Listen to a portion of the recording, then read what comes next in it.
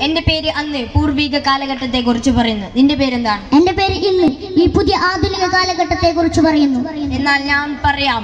അന്ന് മതവിജ്ഞാനം തേടി മനുഷ്യൻ പുറപ്പെടുമായിരുന്നു. ഇന്ന് വിജ്ഞാനം തേടി വിജ്ഞാനം മനുഷ്യനെ തേടി വരുന്നു. അന്ന് മുതിർന്നവരായിരുന്നു വീട്ടുകാര്യങ്ങൾ നോക്കിയിരുന്നത്. ഇന്ന് ഇളയവർ മുതിർന്നവരെ ഭരിക്കുന്നു. അന്ന് മുഹമ്മദ് അബ്ദുല്ല മരക്കാർ പോക്കർ തുടങ്ങിയ പേരുകളായിരുന്നു വിളിച്ചിരുന്നത്. ഇന്ന് ടിന്നു മിന്നു കിറ്റു ടിറ്റു എന്ന പുതിയ പേരുകളാണ് പറയുന്നത്.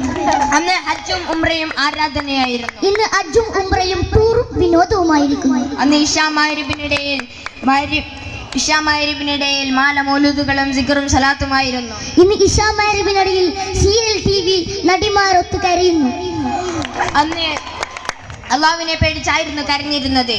ഇന്ന് സീരിയൽ ടി വി നടിമാരൊത്ത് കരയുന്നു അന്ന് മനുഷ്യനായിരുന്നു നിലയും വിലയും. ഇന്ന് പട്ടിക്കാണ് വിലയും നിലയും അന്ന് പട്ടിയെ കൊല്ലുമായിരുന്നു. ഇന്ന് പട്ടിയെ കൊന്നവനെ കൊല്ലും. അന്ന് പത്താളുകൾ ഒരു പാത്രത്തിൽ നിന്നുമായിരുന്നു ഇന്ന് ഒരാൾ പത്ത് പാത്രത്തിൽ നിന്ന് തിന്നു. അന്ന് താമസിക്കാനായിരുന്നു വീട്. ഇന്ന് പൊങ്ങച്ചത്തിന് വേണ്ടിയാണ് വീട്. അന്ന് ശരീരം മറക്കാനായിരുന്നു വസ്ത്രം. ഇന്ന് പൊങ്ങച്ചത്തിന് തിന്നു വേണ്ടിയാണ് വസ്ത്രം. അന്ന് സ്ത്രീകളായിരുന്നു വീട്ടുകാര്യങ്ങൾ നോക്കിയിരുന്നത്. ഇന്ന് സ്ത്രീകൾ നാട്ടുകാരെ നോക്കുന്നു. അന്ന് പള്ളിയിൽ സിക്കറും സലാത്തും മാലും മുലൂതുകളുമായിരുന്നു ഇന്ന് പള്ളിയിൽ കയ്യാങ്കളിയും ബഹളവുമായിരിക്കുന്നു. അന്ന് സ്നേഹവും കൃപയും ആത്മാർത്ഥതയായിരുന്നു.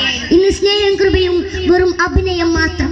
തൽക്കാലം നിർത്തട്ടെ. അസ്സലാമു അലൈക്കും വറഹ്മത്തുള്ളാഹി തആല വബറകാതുഹു